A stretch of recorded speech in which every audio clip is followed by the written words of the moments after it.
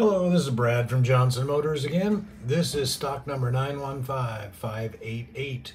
This is our 2020 Chevy Silverado Custom Trail Boss. It's a beautiful color, the Northsky blue. Uh, it is a great truck.